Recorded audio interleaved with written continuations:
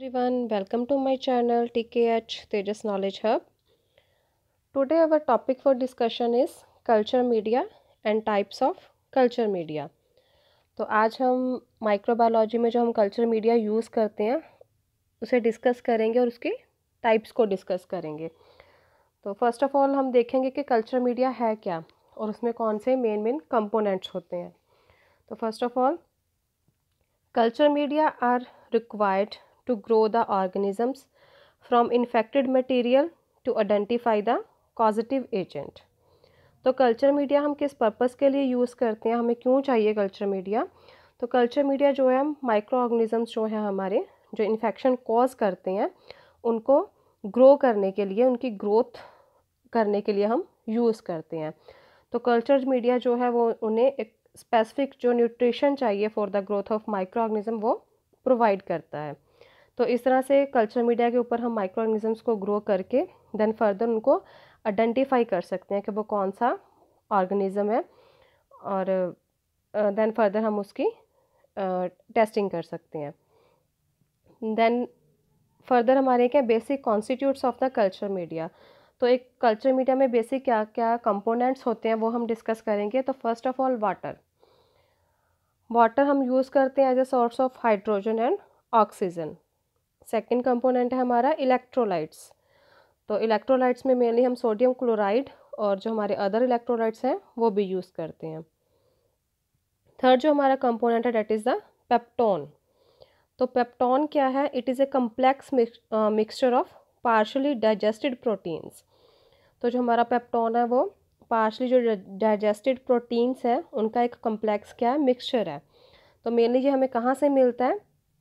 Lean meat and other protein material से, जो peptone है, हमें ऑप्टेंड होता है। स्पेशली जो ब्रांड्स हम यूज़ करते हैं पेप्टोन के, वो कौन कौन से हैं? नियो पेप्टोन प्रोटीएस पेप्टोन ये हमारे जो हैं यूजली अवेलेबल होते हैं, जिसे हम यूज़ करते हैं। द नेक्स्ट जो हमारा component that is the meat extract तो जो हमारा मीट एक्सट्रैक्ट है, वो हमें कमर्शली अवेलेबल होता है लैब में एज ए लैब लैम्प को। तो इस मीट एक्सट्रैक्ट में क्या क्या होता है? प्रोटीन डिग्रेडेशन प्रोडक्ट्स होते हैं इनऑर्गेनिक साल्स हो गए कार्बोहाइड्रेट्स एंड ग्रोथ फैक्टर्स तो ये सारे कंपोनेंट्स हैं, जैसे degradation products inorganic salts carbohydrates and growth factors ये सारे क्या हैं? बैक्टीरिया को ग्रो करने में हेल्प करते हैं. द नेक्स्ट जो हमारा कंपोनेंट है that is the blood and serum these are use for enriching the culture media usually 5 to 10 percent defibrinated sheep blood is used and in certain media serum is used तो जो हमारा blood और serum है, वो mainly जो हमारा basal media होता है, उसमें हम सीरम या फिर ब्लड ऐड करके उसे इनरिचमेंट मीडिया बनाते हैं। तो जो इनरिचिंग मीडिया क्या है वो स्पेशल जो हमारे माइक्रो ऑर्गेनिजम्स होते हैं, जो ऑर्गेनिजम्स है बैक्टीरिया उनको ग्रो करने के लिए हम यूज़ करते हैं। तो किस मीडिया में हम ब्लड डालते हैं, किसमें हम सीरम डालते हैं, ये फर्दर जब हम क्लासिफिकेशन करेंगे मीडिया की, तब हम डिस्कस करेंगे डिटेल में कि किस मीडिया में हम ब्लड ब्लड यूज़ कर रहे हैं और किस मीडिया में हम सीरम यूज़ कर कर रहे हैं for the growth of micro organisms the next हमारा जो पी एच तो किसी भी बैक्टीरिया को जो ग्रो करने के लिए एक स्पेसिफिक पीएच चाहिए होती है, जो सेटिस्फैक्ट्री पीएच है that is a seven point two to seven point six then next है हमारा agar it is prepare from seaweed तो जो अगार है वो हम कहाँ से प्रिपेयर करते हैं? सी वीट से. It contains mainly long chain polysaccharide and a small amount of protein like material and a variety of inorganic salts तो जो हमारा अगार है, उसमें क्या क्या होते हैं? पॉलीसेक्राइड्स होते हैं प्रोटीन्स होते हैं और इनऑर्गेनिक साल्ट्स प्रेजेंट होते हैं। तो जो इसकी कंसनट्रेशन हम यूज़ करते हैं अगार की for the solid media that is two to three percent जो अगार है मेनली हम क्या है? किसी भी मीडिया में उसे सॉलिड सॉलिडिफाई करने के लिए यूज़ करते हैं। तो अगार को हम as a solidifying agent use करते हैं किसी भी मीडिया में। It melts at 90 degree centigrade and usually solidified at 42 degree centigrade तो जो मेनली हमारा अगार है वो मेल्ट हो जाता है कितने टेम्परेचर पे? 98 पे और सॉलिडिफाई हो जाता है 42 डिग्री सेंटीग्रेड पे। तो मेनली ये जो क्वेश्चन है आपको कई बार शॉर्ट नोट्स में आपके आ जाता है फिलअप्स वगैरह में, या फिर मैचिंग में। कि मेल्टिंग पॉइंट और सॉलिडिफाइंग पॉइंट क्या है अगार का? Agar does not provide any nutrition to the bacteria but act as a solidifying agent only तो जो हमारा अगार है वो क्या है? कोई भी न्यूट्रिशन प्रोवाइड नहीं करेगा बैक्टीरिया को ग्रो करने के लिए कोई न्यूट्रिशनल uh, जो एज ए फैक्टर हम यूज़ नहीं करते उसे जस्ट हम एज ए सॉलिडिफाइंग एजेंट ही यूज़ करते हैं सॉलिड मीडिया और semi solid media then next हमारी क्या है? क्लासिफिकेशन ऑफ़ मीडिया तो मीडिया को हम डिफरेंट डिफरेंट वे में क्लासीफाई करते हैं। तो जो फ़र्स्ट क्लासिफिकेशन है वो हमारी बेस्ड है on the physical state of media media की फ़िज़िकल स्टेट के अकॉर्डिंग हम जो हमारे मीडिया हैं उनको थ्री ग्रुप्स में डिवाइड करते हैं। सॉलिड मीडिया होता है liquid and the semi solid media तो फ़र्स्ट है हमारा solid media they are use to study the colonies of individual bacteria they are essential for the isolation of organism in pure form from mixed culture तो जो solid media है mainly क्या है? हम किसी भी एक इंडिविजुअल बैक्टीरिया की जो कॉलोनीज़ हैं, उनको स्टडी करने के लिए यूज़ करते हैं। और सॉलिड मीडिया के थ्रू हम क्या है?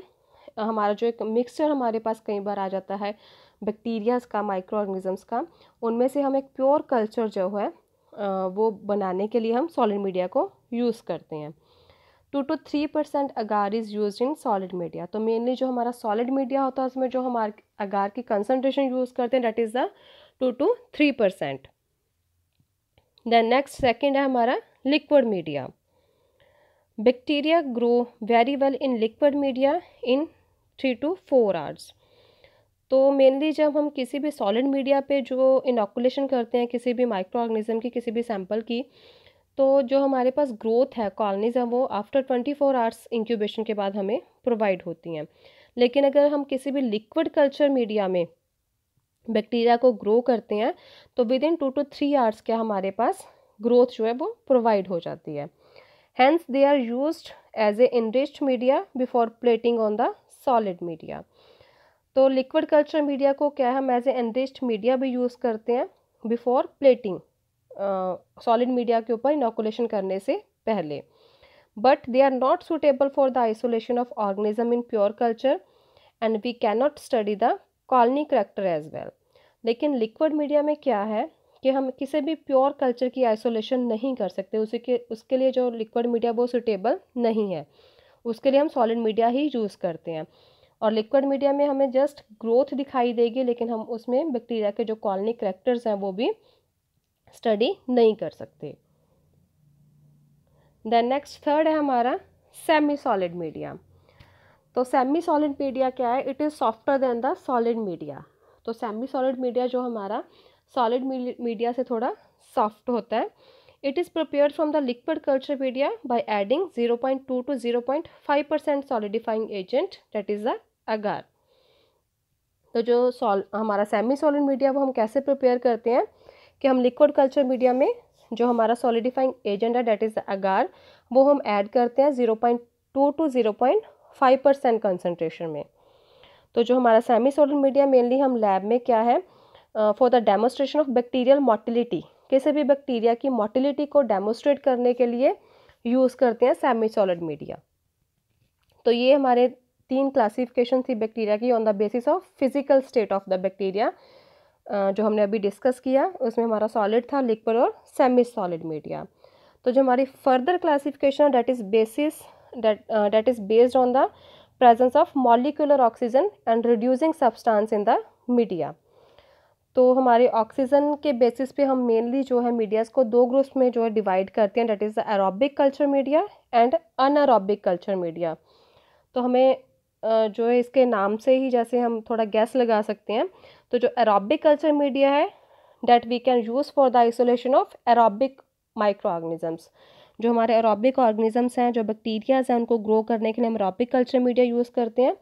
और अनएरोबिक जो कल्चर मीडिया है that we can use for the isolation of anaerobic organisms तो अनएरोबिक मीडिया जो है हमारा, हम वो अनएरोबिक जो हमारे बैक्टीरियाज होते हैं माइक्रो ऑर्गेनिजम्स हैं, उनको ग्रो करने के लिए यूज़ करते हैं। और जो हमारी एग्जांपल है मेनली जो एनारोबिक बैक्टीरिया की है that is the R C M Robertson's cooked meat medium ये मेनली हम यूज़ करते हैं for the growth of anaerobic bacteria तो फर्दर जो हमारे ये जो रॉबर्टसन कुकड मीट मीडिया हम इसे फर्दर जो क्लासिफिकेशन में डिटेल में इसे स्टडी करेंगे।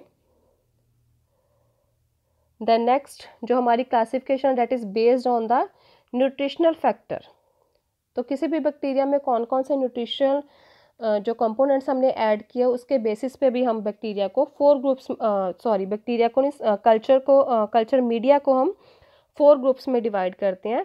तो फ़र्स्ट हमारा सिंपल मीडिया आ जाता है second one is a complex media third one is a synthetic media and fourth one is a special media तो न्यूट्रिशनल फैक्टर्स के बेसिस पे हम फोर ग्रुप्स में डिवाइड करते हैं मीडिया को। तो इनको सिंपल मीडिया, कॉम्प्लेक्स और सिंथेटिक और स्पेशल मीडिया को हम डिटेल में हमारी जो नेक्स्ट वीडियो होगी उसमें डिस्कस करेंगे। Thanks for watching if you like my video please subscribe my channel like share and comment